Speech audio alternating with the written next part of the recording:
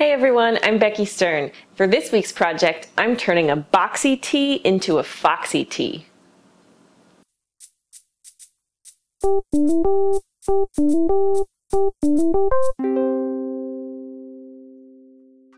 I have all these great logo tees, but they're cut for men and I don't like the way they fit. So today I'm going to show you how to transform this into a little more flattering shirt that you're more likely to wear.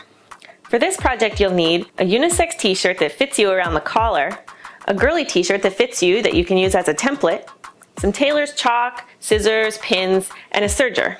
If you don't have a serger, ask around to see if you know someone who has one you can borrow. This is a great beginner serging project. First, iron your shirts and turn them inside out. Line up the template at the shoulders and trace around it with tailor's chalk. Pin along the new side seams and cut off the sleeves at the new armhole. Run the new side seams through the serger. Lay out the old sleeve under the template t-shirt and mark the new underarm and armhole. Serge the underarm and then cut the shoulder curve. Flip the sleeve right side out and set it inside the armhole of the shirt. Pin and serge the edge, repeat on the other sleeve, and you're all done. You can also hem the bottom of the shirt if it's too long. Here's before and after. Hey, that was fun. Let's do it again. Before and after. Well, that's it for this week's craft video. I hope it inspires you to get out there and mod your t-shirts and I can't wait to see you next time.